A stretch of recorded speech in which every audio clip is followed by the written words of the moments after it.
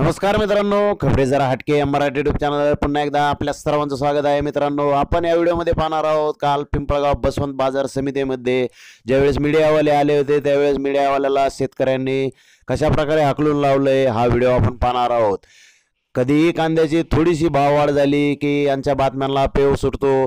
गृहिणींच्या डोळ्यात पाणी आलं गृहिणींचं बजेट कोण म्हटलं कांद्याने रडवलं.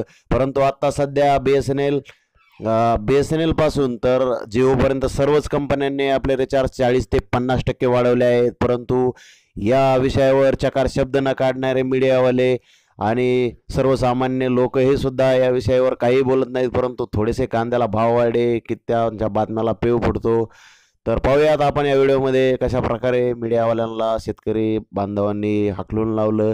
त्यापूर्वी आपण चॅनलवर जर नवीन असाल चॅनलला अजूनपर्यंत सबस्क्राईब केलं नसेल तर ते सबस्क्राईब करा आणि त्यानंतर येणाऱ्या बेल आयकॉनवर क्लिक करा जेणेकरून मी तयार केलेले नवीन नवीन व्हिडिओ आपल्याला सर्वात आधी पाहायला मिळतील. आणि हो व्हिडिओ आवडल्यास व्हिडिओला लाईक जरूर करा कारण आपलं एक लाईक हेच आमच्या मेहनतीचं फळ असतं. व्हिडिओला लाईक करा आणि व्हिडिओ आपल्या मित्रांना व्हॉट्सअपवर शेअर करा.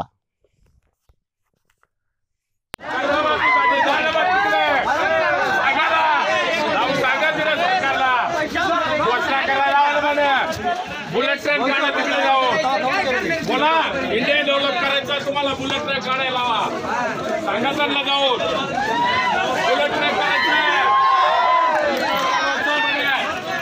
पिंपळगाव बाजार हेलिपॅड बनवायचं आहे. जाऊन सांगा त्यांना. शेतकऱ्याची वाट लावली मीडियानेच लावले.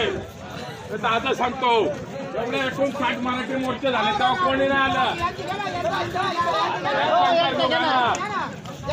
नका तुम्ही येऊ नका इथे? कांदा पंचवीस हजार रुपये लिटर झाला तरी पैसे परवडणार नाही.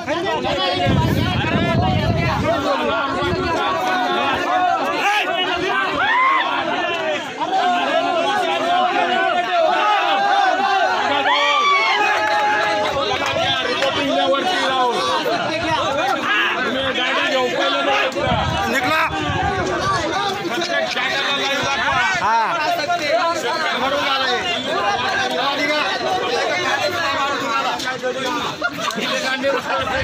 वरती